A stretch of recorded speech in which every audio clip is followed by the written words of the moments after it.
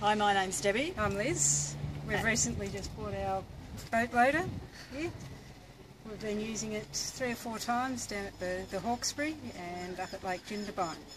When loading the, the boat on, it's very easy, particularly when uh, you're two females and you're not as uh, strong as maybe some, some men or other uh, women who have got upper body strength. Um, the boat loader is on in, in a couple of minutes once you, you get the knack of it.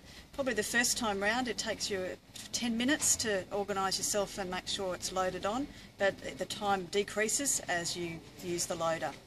It's very easy, very manoeuvrable, no time at all, and you've got the boat in the, the water, and then when you're reloading it, it takes no time at all.